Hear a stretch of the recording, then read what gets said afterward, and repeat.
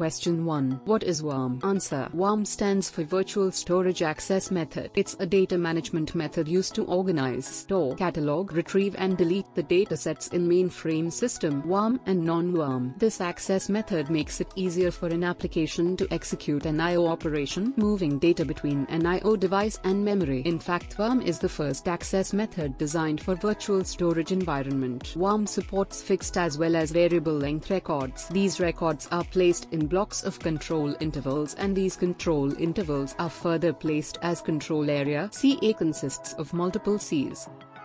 Question 2. What are the advantages of VSAM? Answer. O. Accessing the data is faster and easier. Oh, o. VSAM supports more dataset types. O. Supports variety of I.O. techniques. O. Improves efficiency. O. Records can be accessed sequentially or randomly.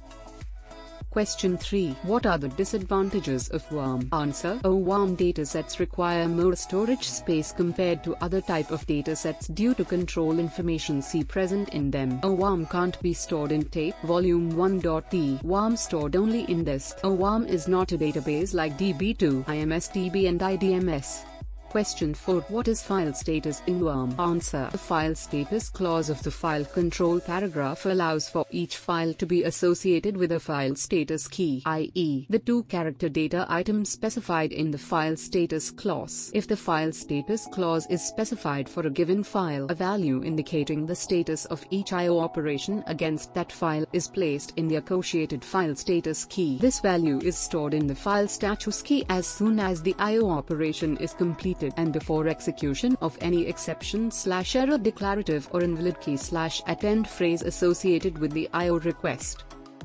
Question 5. What are the different types of VSAM files available? Answer. ESDS Entry Sequence Dataset KSDS Key Sequence Dataset RRDS Relative Dataset Question 6. What is IDCAMS? Answer. IDCAMS is the Access Method Services Program. You run the IDCAMS program and supply AMS commands through SYSIN. Examples of AMS commands are delete, define, repro, etc.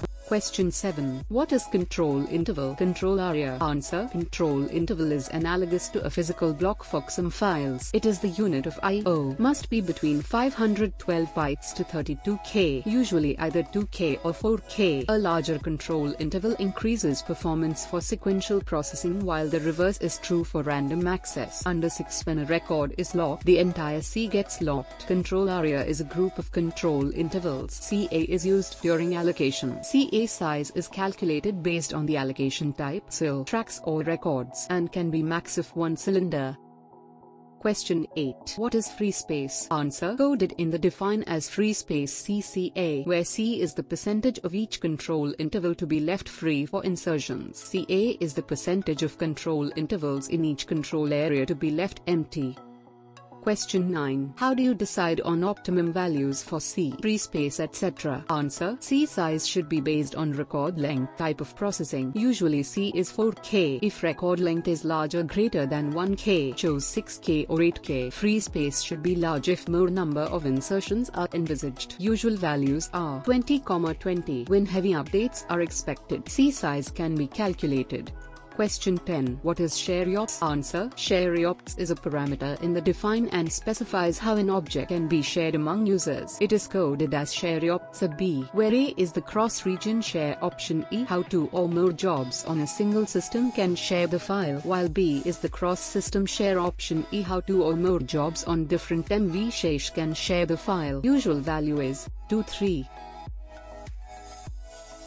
Question 11. What is the meaning of each of the values in shareOPS 2.3? Answer. Value of 2 for cross-region means that the file can be processed simultaneously by multiple users provided only one of them is an updater. Value of 3 for cross-system means that any number of jobs can process the file for input or output. VSAM does nothing to ensure integrity.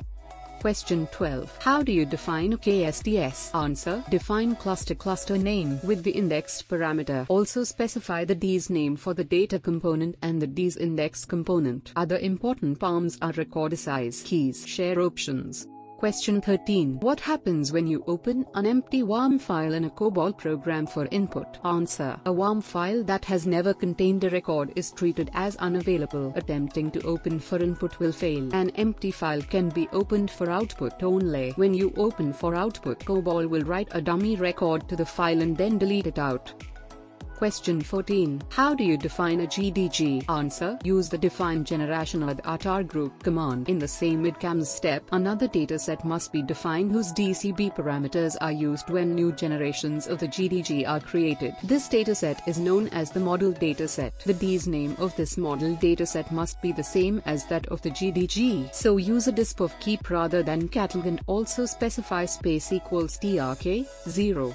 Question 15. Suppose a generation of GDG gets created in a particular step of a proc. How would you refer the current generation in a subsequent step? What would be the disposition of this generation now? Answer. Relative generation numbers are updated only at the end of the job, not at the end of a step. To allocate a new generation, we would be using plus 1 with a disp of new cat delete. To refer to this in a subsequent step in the same job, we would again use plus 1 but with a disp of SHR or old.